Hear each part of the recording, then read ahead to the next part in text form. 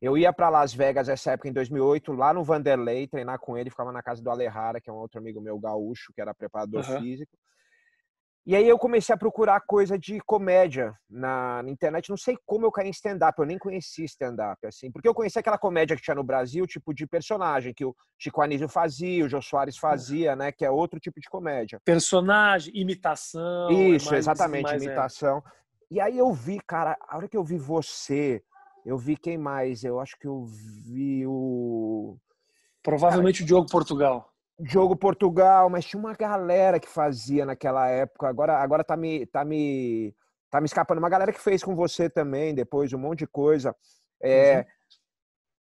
Pessoal que foi pro CQC, o Danilo Gentili também. Danilo, cara, eu falei, nossa, isso é muito maneiro, muito legal. E comecei a ficar viciado e assistir essas coisas.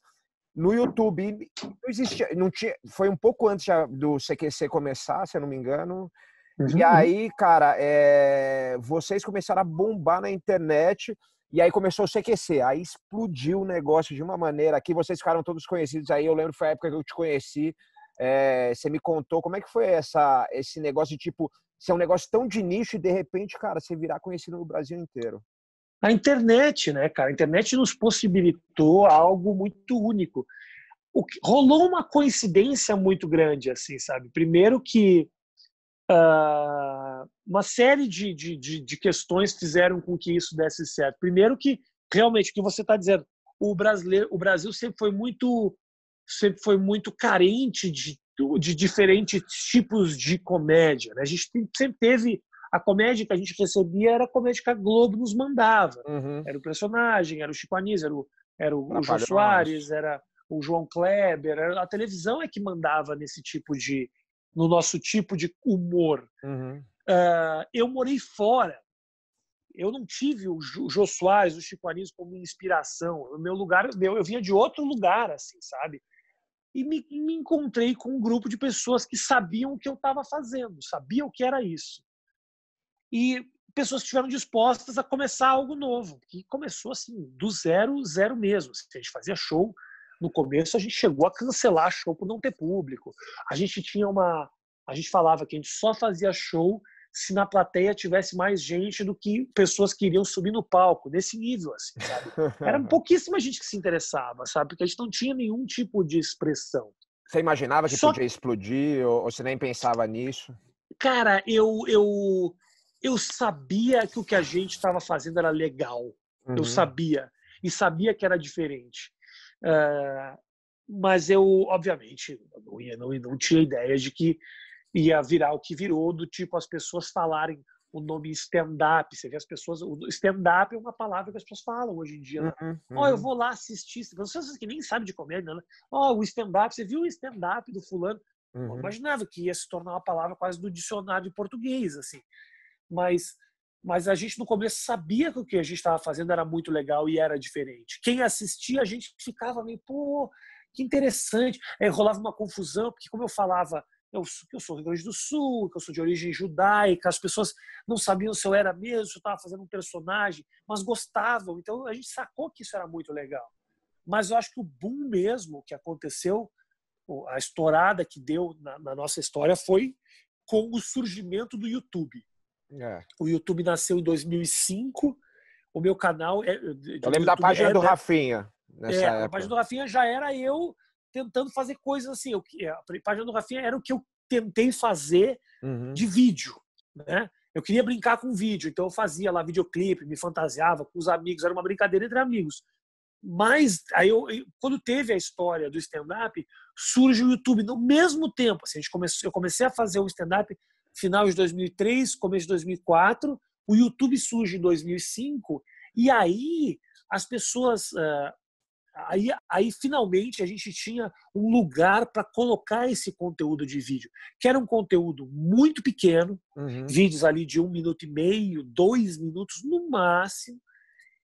E nesses dois minutos tinham muitas piadas. O stand-up tem isso, né?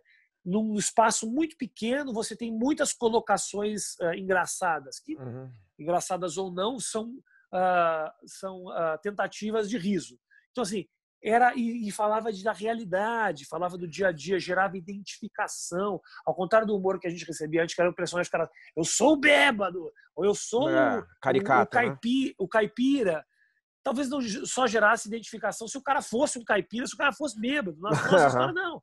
A nossa história não. A gente estava falando ali do tipo do casamento, o vídeo que bombou muito meu, era eu um vídeo lembro. que eu falava de casamento. Uhum. Então, assim, o vídeo que hoje tem lá 6 milhões e meio de visitas. Na época, foi o que construiu o stand-up. Você falava, porra.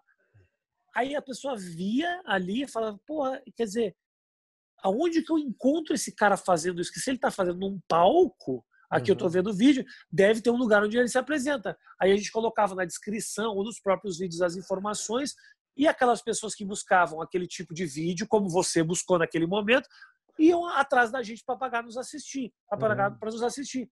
Isso construiu o, o, o nome do stand-up. Quando surgiu o CQC, eu estava muito bem, assim. A televisão nem era.